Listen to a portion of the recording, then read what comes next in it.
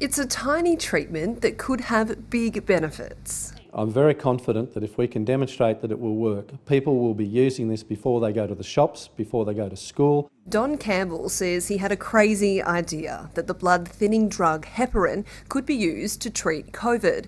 After 20 months of work, he and his team have turned the drug into a nasal spray which can stop the virus growing in cells. It's so simple to use. You spray it into your nose, it coats the surface and prevents primary infection, but also neutralises the virus if it's present, and that will stop it from spreading to others. We have found that we can produce a spray which has the right characteristics, that it will get into the nose but won't go down into the lungs. The heparin molecule wraps around the protein that helps COVID penetrate cells like an orange python and makes it impossible for the virus to mutate. Heparin is so close in structure to heparan that it just binds on and paralyses the virus. Heparin's also cheap, doesn't need refrigeration, and is easy to administer. Two puffs each nostril, three times per day.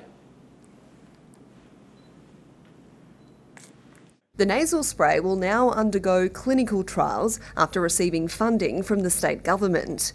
340 Victorians will be given the drug or a placebo within 24 hours of their household contact testing positive to reduce transmission. It won't matter if a new variant comes along, this drug will block that protein from infecting the cells. The nasal spray trial is one of seven local research projects that will share in $13 million of government funding to better understand how we live with COVID. What happens here in Melbourne uh, is is world leading. The clinical trials for the new treatment are expected to take six months. We're not proposing this as an alternative to a vaccination. It's a supplement or for people who can't be vaccinated.